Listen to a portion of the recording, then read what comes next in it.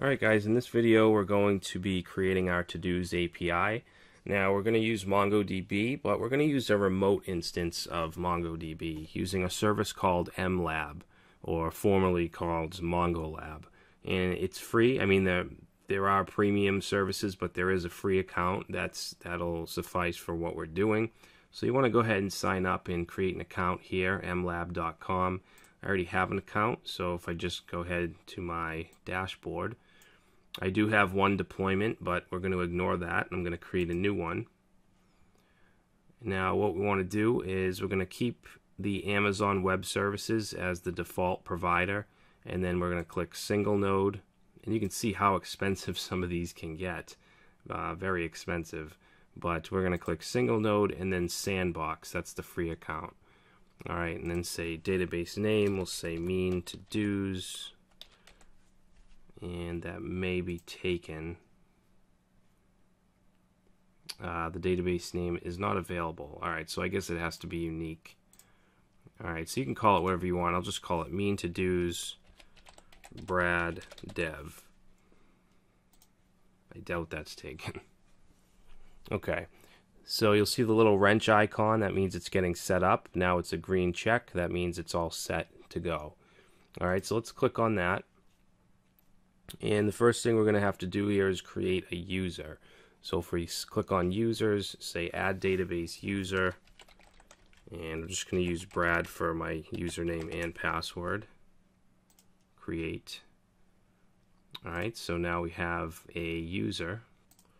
And notice up here we have our connect strings. This is how we would connect to the shell, but we want to connect using the driver. So we're going to grab this right here copy it, and then let's go over to routes and then to dos.js. And we're first going to bring in Mongo.js.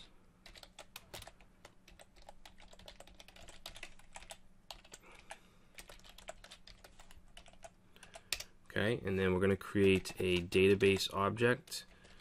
And we're going to set that equal to Mongo.js and then we're going to paste in inside a set of quotes, paste in what we copied from MLab. All right, and then just replace this DB user with your username you created and then your password. All right, and then that stuff should be good. Now we want a collection to work with. So we're going to have a collection called to-dos. So this takes in a second parameter, which is an array of the collections you want. So we're going to say to-dos. All right, and that should be all set. Um, let's see, should we? Let's go ahead and add the collection. I don't think we have to, but let's just do it just to make sure. We'll just say add collection to-dos.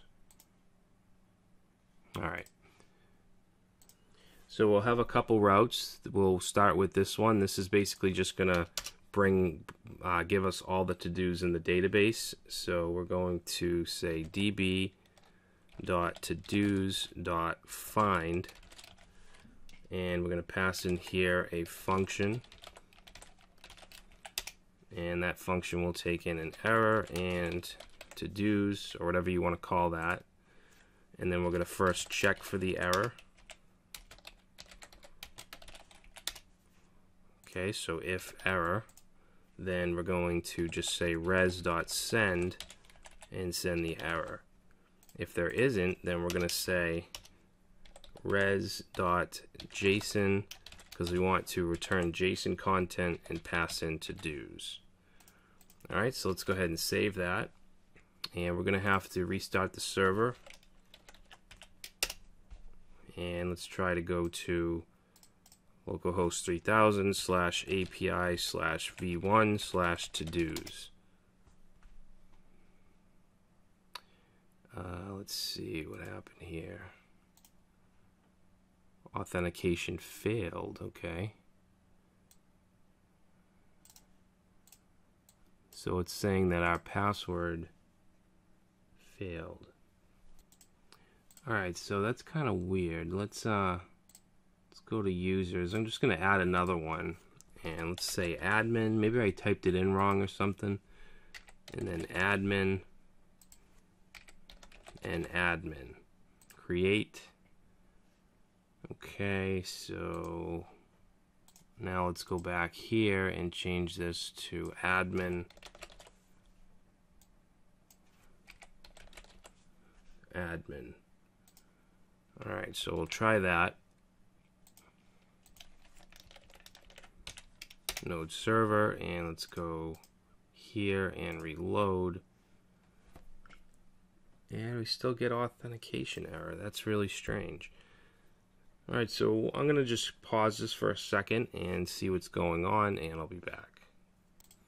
Alright guys, so I got it working. The issue is, I think, is this space right here is what was stopping me. Alright, so I saved that, and now you can see I'm getting just uh, an empty array, which is exactly what I want because there's nothing there. Alright, so if we want to go and create some to-dos through MLab, we can do that. So let's go collections, to-dos, and we'll say add document. And then in here, uh, let's see, we're going to have one called text. So we'll say text, and we'll say go food shopping. And it's also going to have is completed. All right, and let's see, that is going to be set to false. All right, so let's go ahead and say create and go back. Um, oh, you know what? I think we need to have double quotes around that as well as the keys.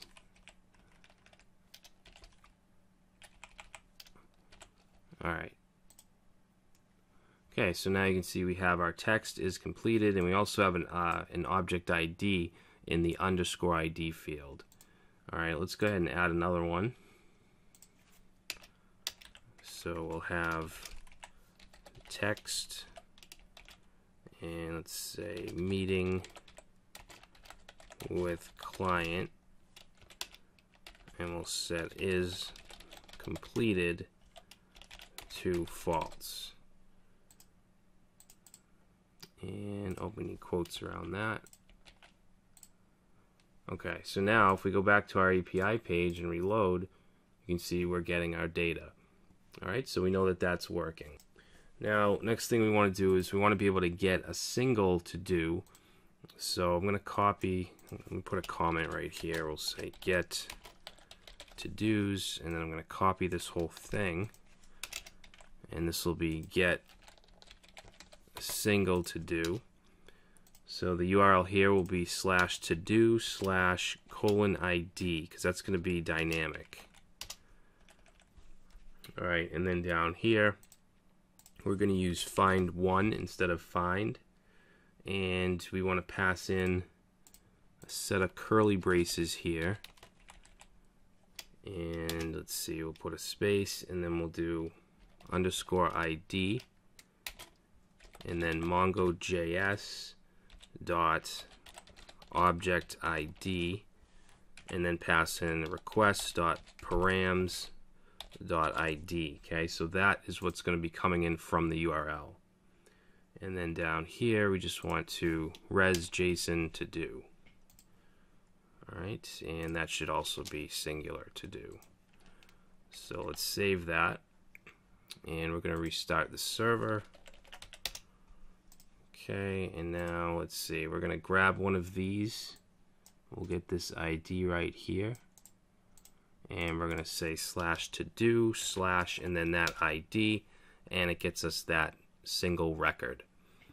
Okay, so that works. Now we also want to be able to save to-dos. Now this is going to be a post request.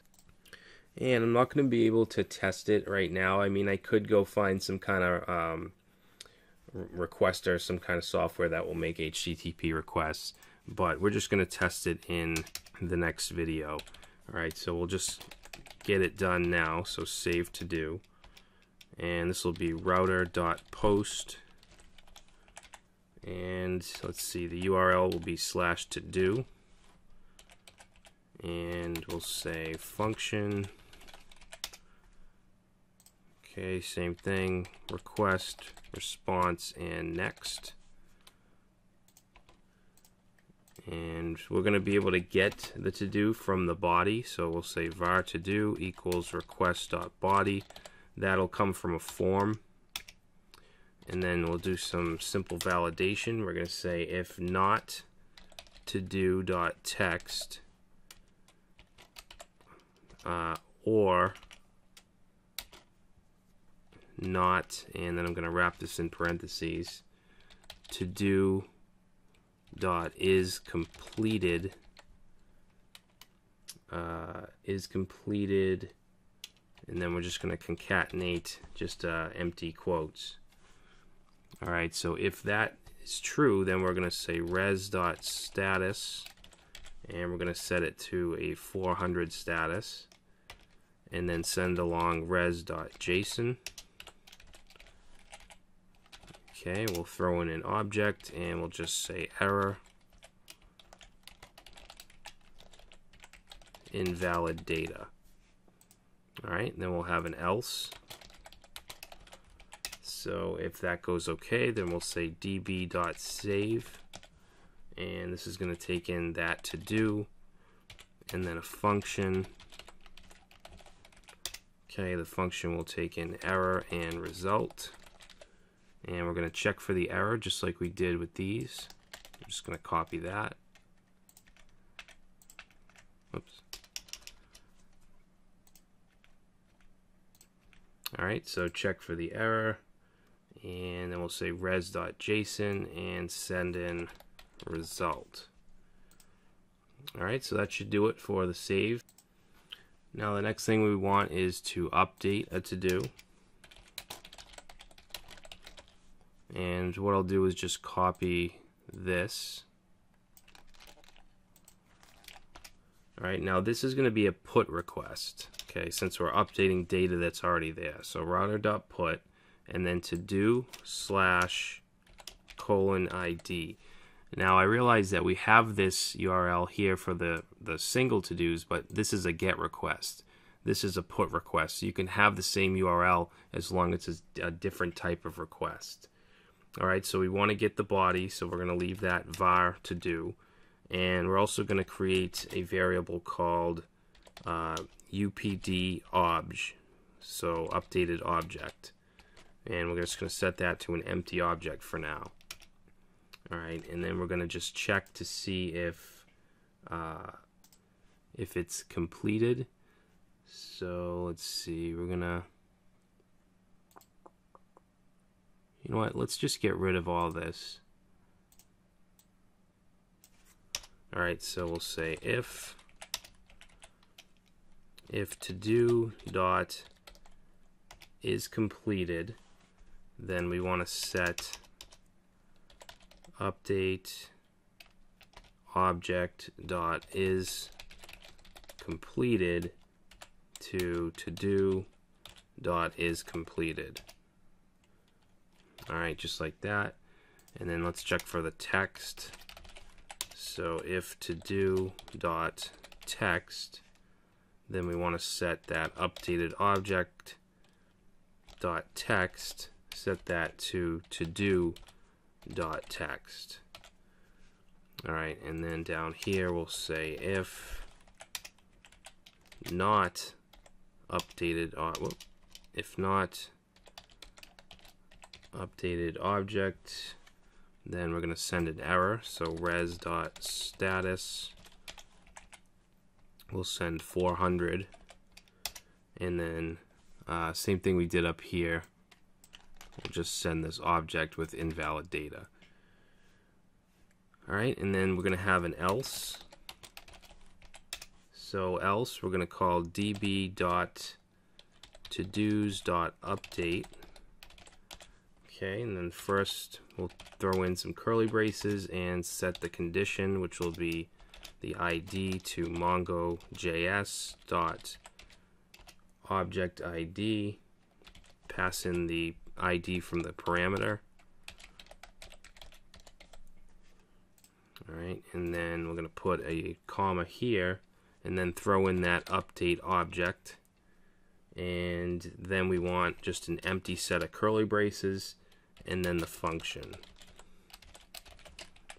Okay, and function will get error result. We'll check for the error. I'm just going to grab what we have here. Okay, we'll check for the error, send it if there is one. If not, then we're going to res.json result. All right, so that'll be the update. And then finally, we want the delete. So I'm going to copy the whole update.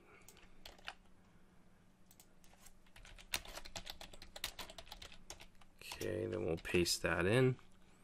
And we're going to change the put to a delete request. Same URL to do ID. And then we want to get rid of this. We're actually going to get rid of all this. And that.